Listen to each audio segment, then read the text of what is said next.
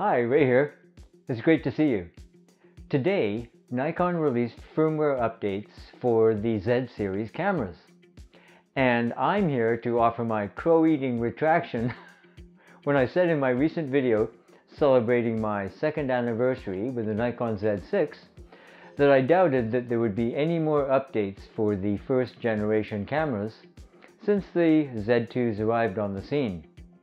But here we are today with not just updates for the newer mirrorless cameras from Nikon, but also improvements for those of us with the first generation Z cameras. So I'm happy to stand corrected.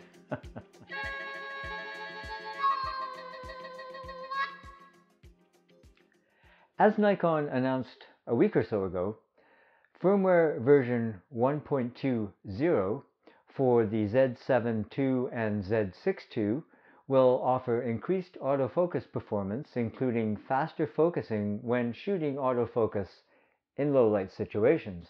Further, autofocus usability when using an external speed light will also increase through improvements to detection performance in scenes where it was difficult to detect faces and eyes, as well as improvements to subject visibility during live view shooting. In addition, tracking frames uh, used for face and eye detection as well as subject tracking autofocus have been improved enabling smoother and more stable shooting. So I'm guessing you'll see some changes to that uh, little yellow box that um, you see with tracking. Additionally, the Z6 and Z7 get firmware version 3.30 and Z50 owners will get version 2.10 which will add the save focus position option that shows the current focus position to be saved when the camera is turned off and restored when next turned on. Now that is excellent, since it corrects one of the most irritating experiences with the cameras to date,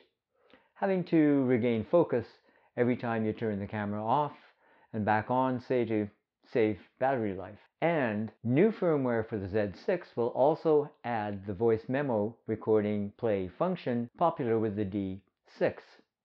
I really welcome that feature.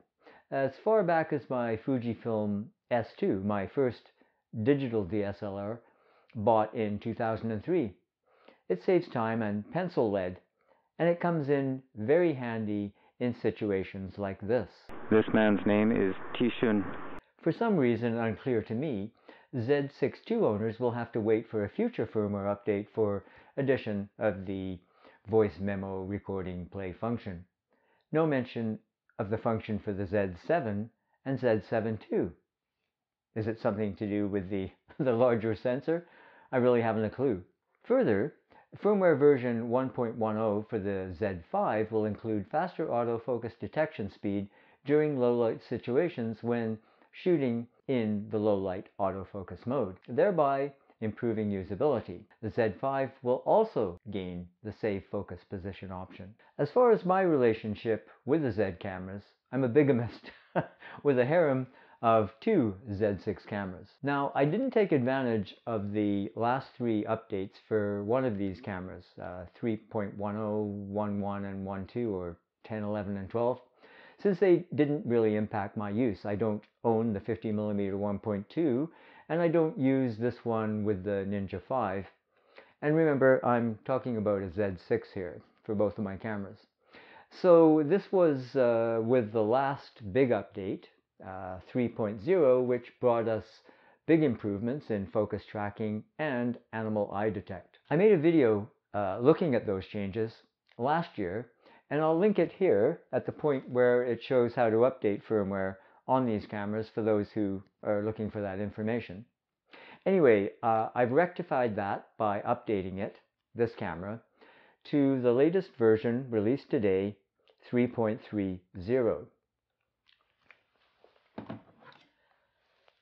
Meanwhile, I've left this camera that I use as my Cam 1 for video, often with my video rig and the Atomos Ninja V. And this is in the SmallRig cage for the Z cameras. I've left this at 3.12, 3.12. Again, I don't own the 50 millimeter 1.2, and I don't have the factory update that would add ProRes RAW function and Blackmagic RAW support that was included in the 3.20 update, if you're following all this. Who remembers now, way back to version 2.0 that gave us eye detect for photos? Anyway, let's get out of the office and try out this update, comparing the two versions. Will there be any noticeable change, uh, improved focusing perhaps, um, besides the announced additions? Well, we can hope. I'd be interested to hear from Z6 II and Z7 II owners. How are you finding the updates? Are you seeing significant improvement in autofocus tracking? Better low light performance? Let me know in the comments below. Okay, here's the camera with the new firmware 3.30, and I don't know how fair this will be, but it's certainly a good test as far as um, low light because it's almost dark out. We can see it doesn't catch the eye until just right there. And for comparison, here's the uh, camera with the older firmware update 3.12. Okay, that's it. because it's dark now. The moon's up. I think it's uh yeah, it's close to a full moon. Maybe it's a full moon. I don't know. I haven't been keeping track. I've been so busy making videos from my quick look here, it doesn't look like we got any uh, improvements as far as um, autofocus and tracking goes. I didn't expect they would. They didn't announce there was.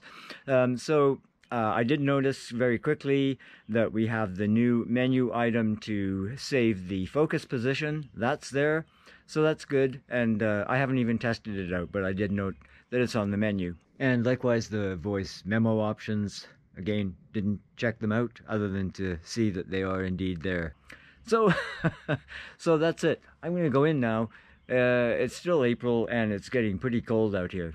Did you find this video helpful? If you did, please give it a thumbs up. And you can find uh, more of my videos right over here. Check them out. And if you haven't already, why not uh, subscribe to my channel?